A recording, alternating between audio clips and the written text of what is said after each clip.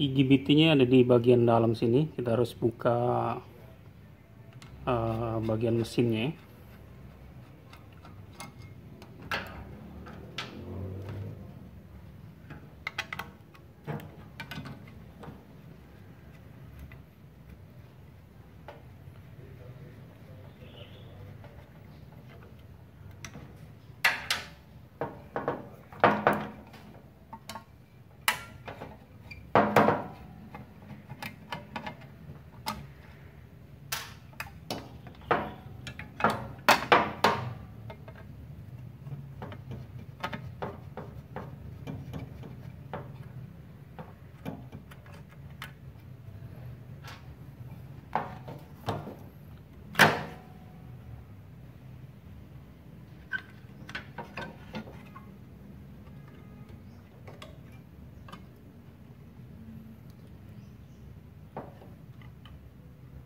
Ini GBT nya ini dioda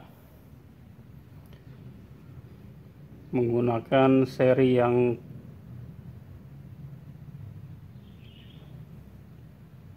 tujuh puluh ampere eh, 100 ampere nih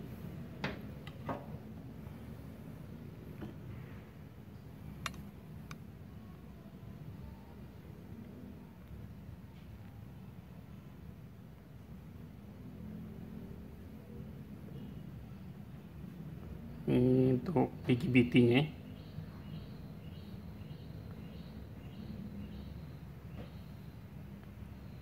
dan ini dioda akhirnya ya. Jadi IGBT nya hanya ada satu.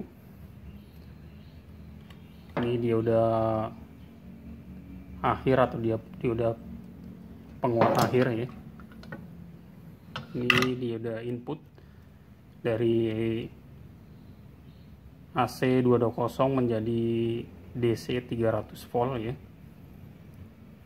Melalui kapasitor ini ya.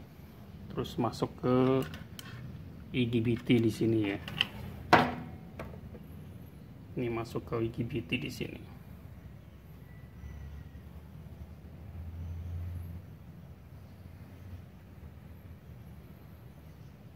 jadi sangat simpel sekali di mesin las yang 450 watt. Kita rakit kembali